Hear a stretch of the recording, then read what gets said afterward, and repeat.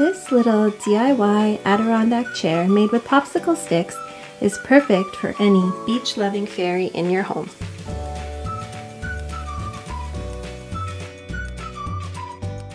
Hi creative friend, this is Jane from Sustain My Craft Habit and welcome to our channel where my sister Sonia and I share creative nature-inspired DIY craft and home decor ideas each week. One of our most popular posts on the blog this past year was our DIY fairy garden. It's a beachy fairy garden terrarium.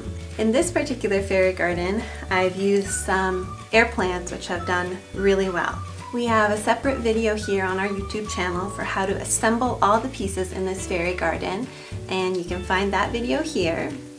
But today I'm going to be showing you how specifically to make this little Adirondack chair from popsicle sticks. It's really simple, it's a cute little craft, and it just completely makes the fairy garden. So before we get started, pause this video and head over to Sustain My Craft Habit. I'll leave a link for you down in the description to grab a printable guide that you can use to help make the little uh, beach chair. So let's get started.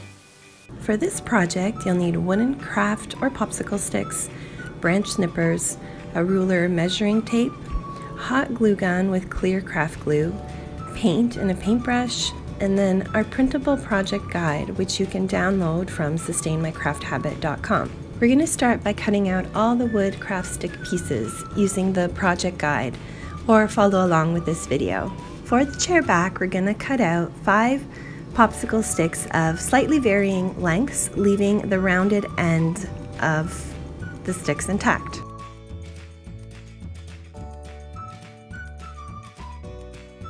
Next, we'll cut two pieces three inches long, again leaving one rounded end intact. For the chair seat, we'll cut five pieces, this time cutting both ends flat to one and three quarter inches long.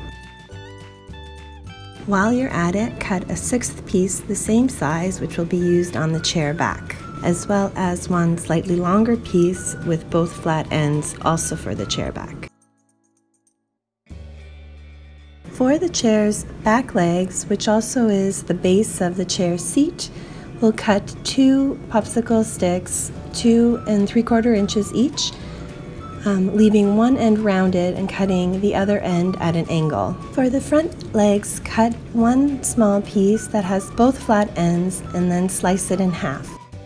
Finally, to give the chair back that truly Adirondack style, you'll want to cut little angles off the bottom of the outer slats of the chair back. This may take a couple tries because the popsicle sticks tend to want to crack along the middle, but just do little bits at a time and you'll get it.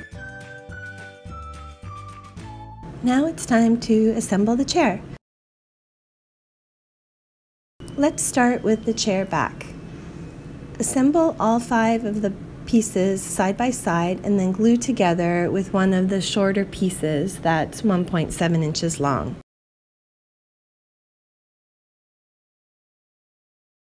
Also, about one third way up along the chair, glue the longer piece with the flat ends to hold the chair back together.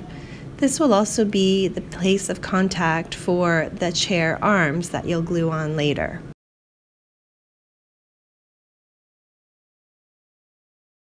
Next, we're going to assemble the chair seat using the back leg pieces and you're going to glue the 1.75 inch long chair seat slats to the longer edge of the uh, back leg piece.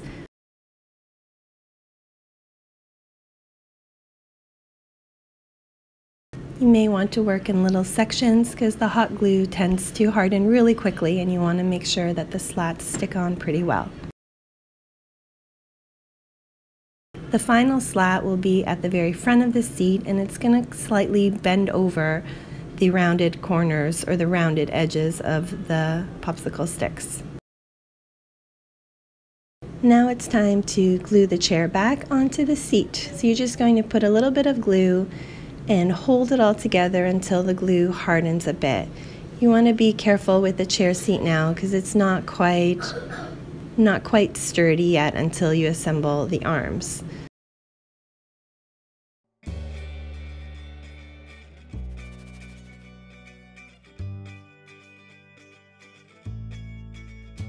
So next we're going to add on those little front legs as shown.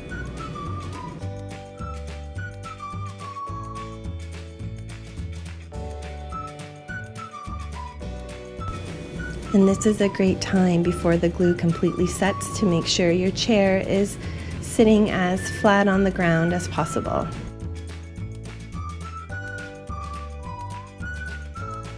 And finally, we're going to add on the chair arms as shown. And this really helps to stabilize the entire chair and hold it together.